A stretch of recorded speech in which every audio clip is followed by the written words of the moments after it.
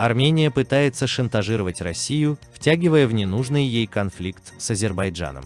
Как передает Вести АС, об этом заявил военный политолог, доцент кафедры политологии и социологии РЭУ имени Плеханова Александр Перенджиев. По его словам, Россия должна стать посредником между Арменией и Азербайджаном, помочь выработать правила поведения в серой зоне и очертить четкие территориальные границы для того, чтобы исключить провокации.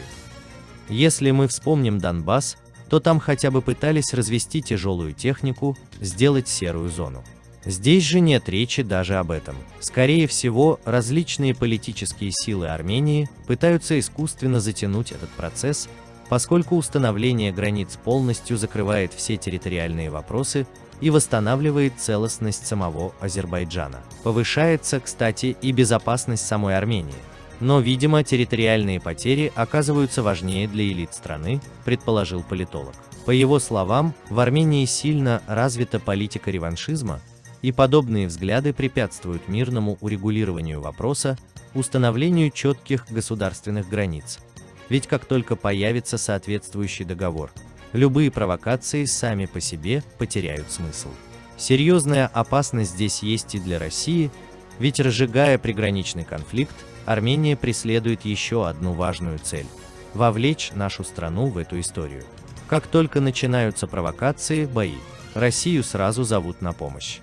Поэтому нам нужно срочно сажать две страны за стол переговоров и пытаться хотя бы выработать правила поведения, которые не допустят дальнейшего развития конфликта. Это должна быть трехсторонняя договоренность с четкими определениями правил, жесткая работа по маркировке границы. В противном случае продолжатся обстрелы и постоянные обвинения в том, что кто-то нарушил чью-то границу, пояснил Перенджиев, добавив, что Москве необходимо принять участие в этой истории именно в таком ключе. Он указал, что Армения продолжит шантажировать Россию угрозами вступления в НАТО в случае отказа в помощи. Вместе с тем, военный политолог выразил мнение, что если Азербайджан и Армения посчитают невозможным для себя заключение договоренностей на уровне глав государств, то тогда будет возможным подписание соглашений между министерствами обороны трех стран, что принесет такой же результат. Вместо того, чтобы идти по правовому полю и устанавливать нормальный мир, Армения хочет реванша и ведет себя, как капризный ребенок. Но не обязательно даже подписывать договоры между странами, хватит и уровня Министерств обороны. Тем более, там у нас есть свои военные дипломаты, резюмировал Перенджиев.